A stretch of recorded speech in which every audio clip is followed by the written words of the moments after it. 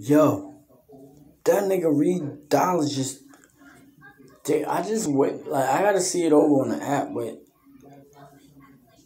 I don't know. I I think I just witnessed Reed Dollaz thirty and Rum Nitty.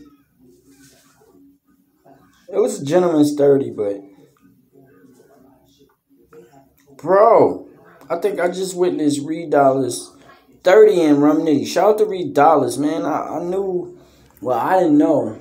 I knew it was a possibility that you could fight back, but I didn't know you had that in you.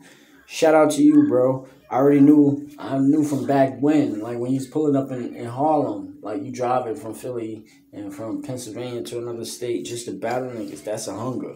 A lot of niggas don't understand that shit. And I'm from New York, but I done pulled up to other niggas states to check them.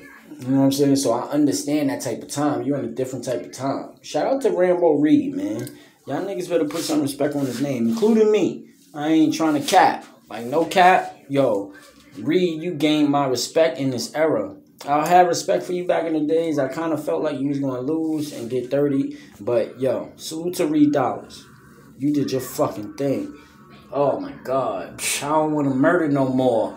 Oh, my God. That ended the battle, bruh. I don't want to murder no more. Choo!